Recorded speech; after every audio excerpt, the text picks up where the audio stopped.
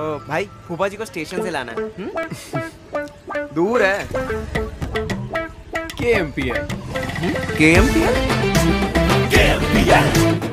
seat तो कमाल है भाई फोटोग्राफर